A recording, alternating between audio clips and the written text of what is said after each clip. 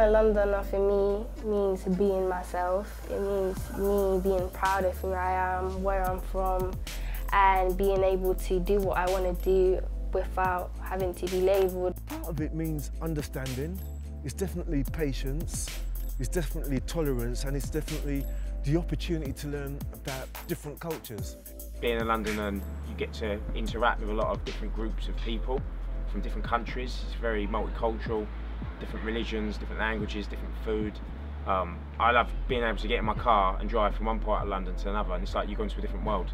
And I just enjoy that interaction with different groups of people. Like, you need to have experienced certain things to call yourself a Londoner, because you can't just have come and then as soon as you're here, you call yourself a Londoner because you haven't experienced everything that other people have experienced. But I also think being a Londoner is being part of a community where you where it's unique and you, you can express yourself. I think a lot of the negatives in London actually come from outside, people who aren't Londoners, who aren't young people in London, and then when people are labelled in a certain way, viewed in a certain way, sometimes they end up fitting those stereotypes as they're trying to find themselves. They end up fitting the labels that other people put onto them um, rather than developing their own path. And I think actually a lot of the negativity, like Kobe says, is not actually come from within, but is something that's placed upon London. I do believe a lot of young people um, from mostly disadvantaged communities have been abandoned um, they've been left. They've they've got very they've got lack of resources. They're, they're not given the same opportunities other children are given. The environment isn't so good. Um, there's a lot of crime going on, so it's a bit um, scary when you leave your house sometimes, especially being a teenager, a young boy growing up. It's quite scary.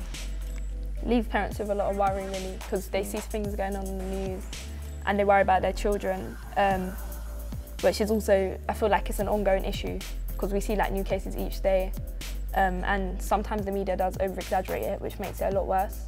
Because of the way London is portrayed by the news, you also start to think and embrace those like negative thoughts. One of the first things that the younger generation can teach us is to be more patient with them.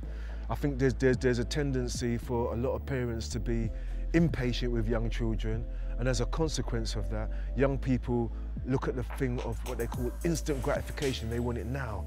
I mean, it'll be harder for the younger generation to teach the older generation something because we don't really get listened to and we usually get like looked down on and the older generation um, just think that we're not educated enough and we don't know enough about the world so they just think that we're like irrelevant and they wouldn't consider our opinions. So I think if they listen to us more, then we could teach them something. So they need to kind of get out of the habit of the fact that, oh, we're too young, we don't know anything, and actually listen to us so we can come together. So a lot of us aspire to kind of be vloggers, YouTubers and stuff, and sometimes we're looked down upon for our um, ideas, but older people need to understand that we're very, they're like, this is a very creative generation, and we want to do more with what we can and with what we have. So I hope older people can listen to us on that one. Don't be shy, like just be yourself and like London, a lot of the time, some people may not like not like you, and like maybe they do. Just be yourself, because at the end of the day, that's what matters. I often think that a big um, unfair criticism labelled on young people is uh, they're too mouthy or have too much attitude, when actually that's really, it's mistaken. Often it's just because they, when they see something wrong, they speak out. Yeah, I was saying the other day, um, our differences are our biggest strength.